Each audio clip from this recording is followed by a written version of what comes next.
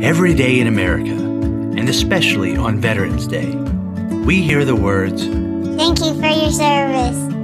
Serving our nation at home and abroad is what we do, and we appreciate your support. So this Veterans Day, we are saying, You're welcome. No problem. Forget about it.